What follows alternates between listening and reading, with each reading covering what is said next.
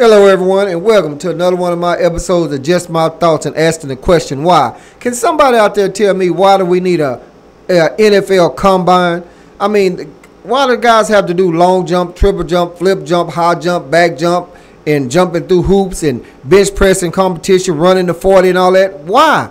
I mean, the coaches have been scouting them. They've been watching film on them. They didn't watch them live. They didn't watch them in action. Isn't that more important than doing all these obstacle course type thing or something? I know who I'm gonna ask.